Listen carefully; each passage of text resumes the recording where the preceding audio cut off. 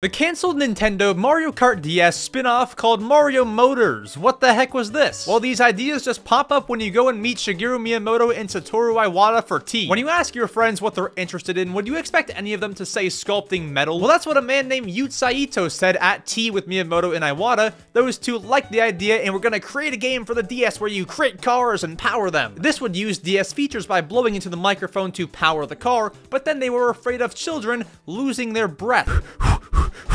We have some screenshots, but really that's all we know. Now, we don't know why it's cancelled. Yu Saito says, I cannot tell you why now, but please guess. That's a very confidential thing. Many things happen. I don't know, from the sounds of it, would you have enjoyed Mario Motors?